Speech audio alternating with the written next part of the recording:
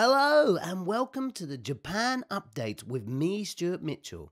On this show, we aim to keep you up to date with the latest news from Japan. If you're new to us and want more great content, please subscribe. On today's show, Japanese swimming sensation Rikako Ikee has been diagnosed with leukemia. 13 LGBT couples filed lawsuits on Valentine's Day against the Japanese government. Japanese Culture Agency tries to curb downloaded content. And there's more. So let's get down to it and start the Japan Update.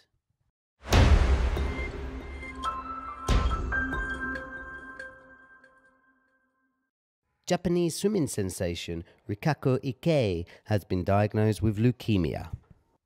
The 18 year old who won six gold medals at the Asian Games last year and who came close to breaking the world record for the 100 meter butterfly stated that she still can't believe it and is in a state of confusion. After the announcement, words of encouragement have been sent in to the sensation from around the world. One response that has been ridiculed was that of Japanese Olympic Minister Yoshitaka Sakurada. The minister suggested that he was disappointed by the announcement as she was seen as a potential gold medalist, and he said he was worried that excitement would wane for the next year's Olympics. Rikako Ikee has spoke of how determined she is to beat the disease by saying that she will do her utmost to show the world as soon as possible an even more powerful Rikako Ikee.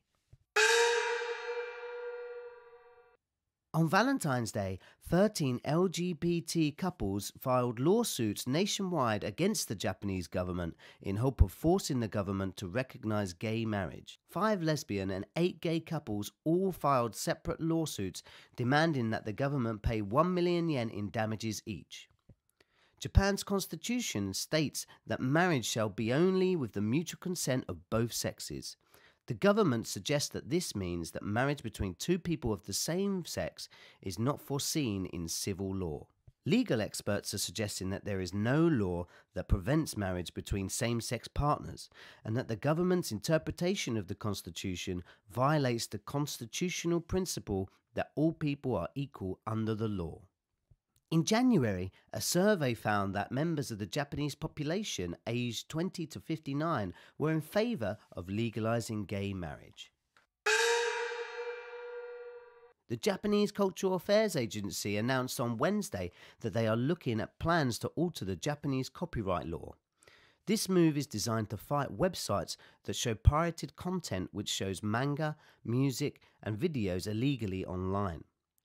This is due to the rise in piracy of copyrighted materials online. The move will signal a big change in what is considered illegal. Suggestions are being made that could have a mass effect on everyday life in Japan, as actions such as downloading photos, theses, emoticons, and even taking screenshots could be considered illegal. Panel members are discussing the pros and cons of any decision that is made.